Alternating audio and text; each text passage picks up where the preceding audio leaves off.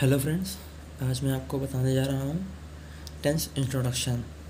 आज हम सब पढ़ेंगे टेंस के बारे में, ओके? तो ये वीडियो बस एक इंट्रोडक्शन है टेंस का, उसके कितने पार्ट्स होते हैं और उन पार्ट्स में कितने पार्ट्स होते हैं। इनके बारे में हम डीपली पढ़ेंगे अगले वीडियोस में। तो मैं हर एक पार्ट्स के एक एक एक वीडियो बनाऊँगा जिससे कि आपको अंडरस्टैंडिंग में प्रॉब्लम ना हो। तो आइए हम स्टार्ट करते हैं। तो टेंस हमारा जो है थ्री पार्ट्स में डिवाइड है। तो फ़र्स्ट है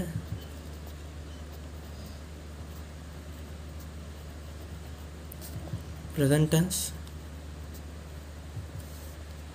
सेकंड है पास्ट टेंस एंड थर्ड है हमारा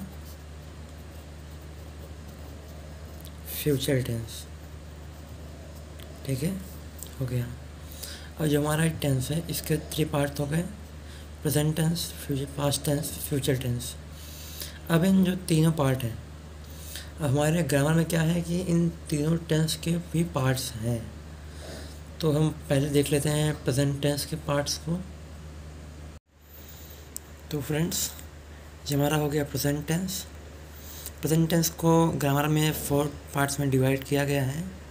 फ़र्स्ट है प्रेजेंट इंडिफिनिट टेंस सेकंड है present continuous tense and fourth है प्रेजेंट परफेक्ट टेंस एंड इतना थर्ड है और ये हमारा फोर्थ हो गया. Present perfect continuous tense okay तो हम इसके बाद देखेंगे पास्ट टेंस के पार्ट्स को.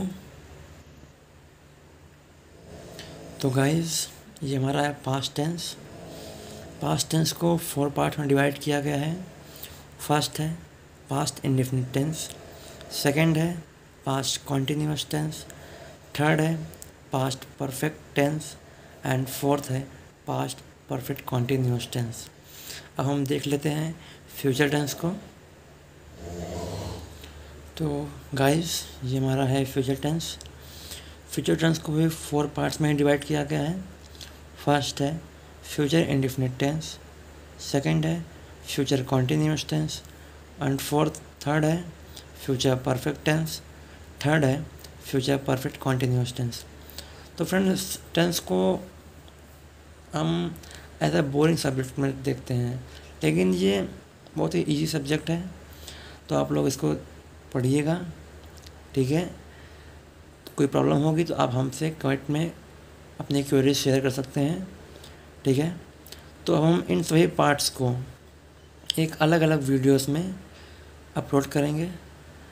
ठीक है? तो फ्रेंड्स अभी के लिए टाटा बाय